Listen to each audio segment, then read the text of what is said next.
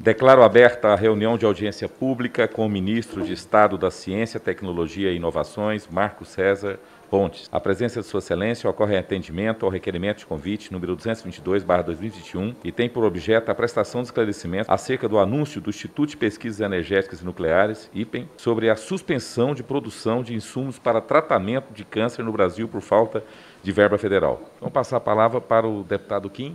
Senhor presidente, primeiro dizer que fico feliz de ver, né, cumprimentar o presidente, cumprimentar o ministro. É, fico feliz de ver que agora existe planejamento para evitar esse tipo de situação no futuro.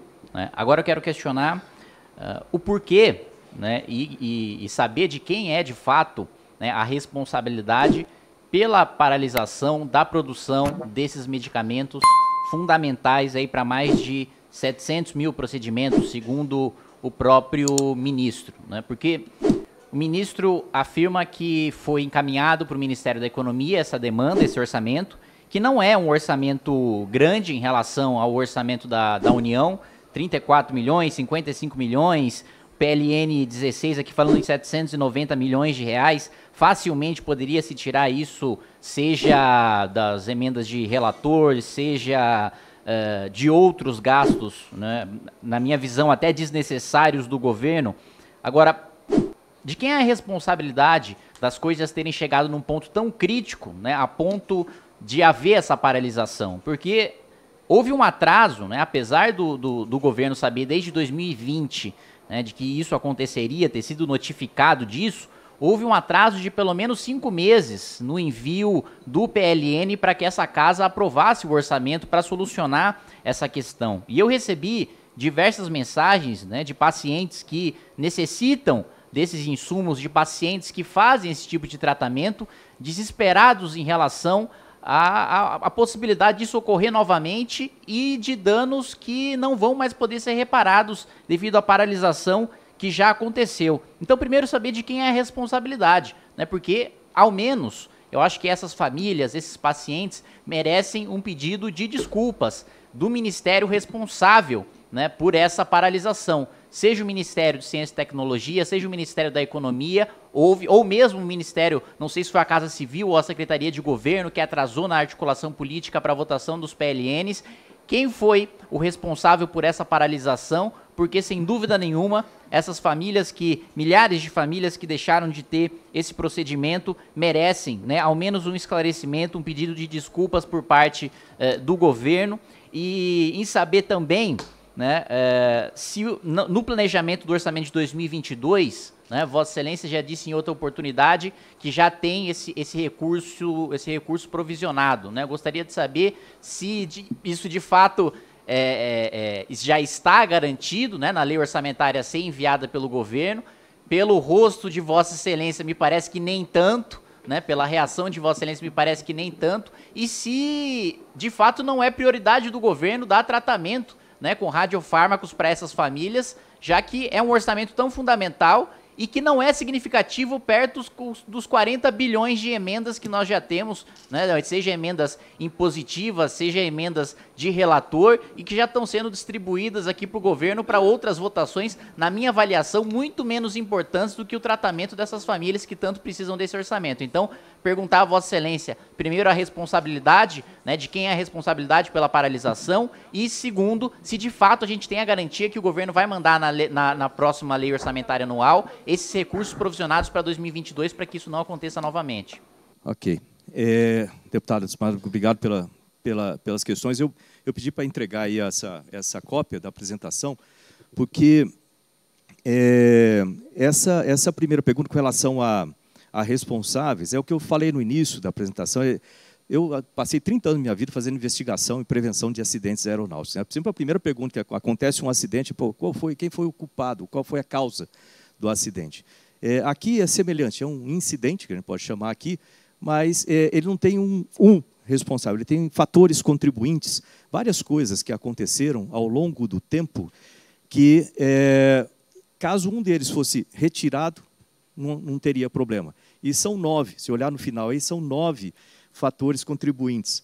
Né? E, e que vem desde 2020, vamos supor, se o orçamento do Ministério fosse é, suficiente para cobrir todos isso, esse problema não aconteceria.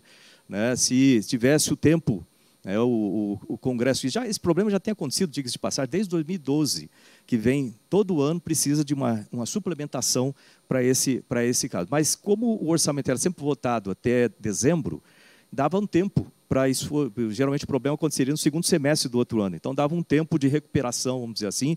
A pane acontecia, falando em linguagem de piloto, a pane acontecia mais alta, dava tempo de recuperar.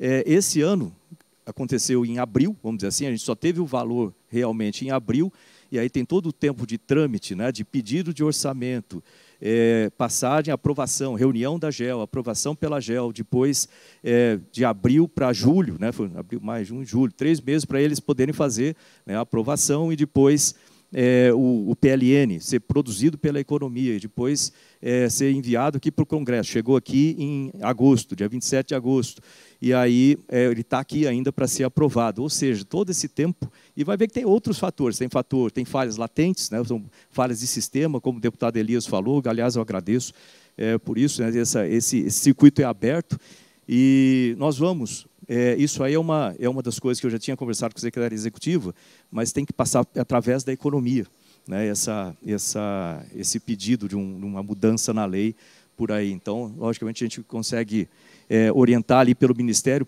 mas passa pela economia também para vir para cá esse pedido de, de que feche esse circuito.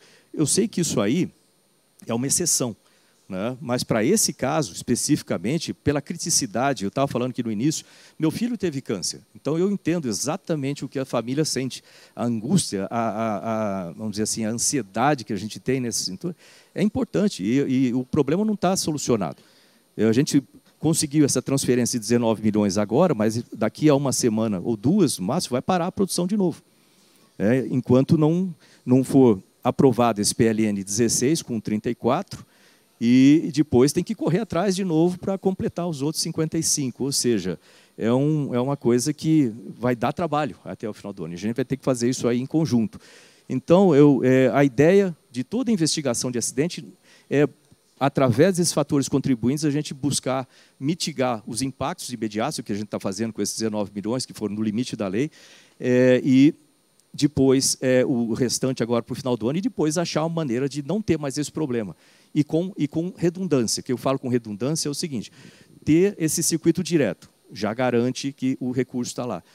Ter aquela a questão de toda vez que aparecer algum PLN tratando de dessa linha de radiofármaco especificamente, que seja dado uma atenção especial e não seja reduzido, ou não seja cortado. Que nem para o orçamento de 2022, né, eu estava perguntando para o meu secretário executivo adjunto aqui, nós temos o orçamento lá, né, previsto para a Pelua. Né? É, bom dia, deputados. São 141 milhões que estão previstos especificamente já no PELOA 2022, encaminhado para o Congresso agora, 31 de agosto, para o ano 2022. Eles são é, previstos suficientes para atender a, a essa demanda de 2022 mas ele não pode ser reduzido aqui, porque ele vai ter que ser aprovado aqui. Então, é, tem que se tomar ainda. É por isso que eu falei, pô, ainda tem, ele vai passar por aqui. Esse, essa linha tem que ser uma linha, na minha opinião, tem que ser uma linha blindada, tipo assim, não se mexe ali. Não pode reduzir, pode reduzir outras coisas né, no, orçamento lá, mas esse não. Esse aí é importante manter. É, então, é, tem isso, né, são essas, essas duas, esses dois pontos aqui a, a, levar em consideração. E aí na apresentação tem todos os, os detalhes né, sobre esses fatores contribuintes. Obrigado.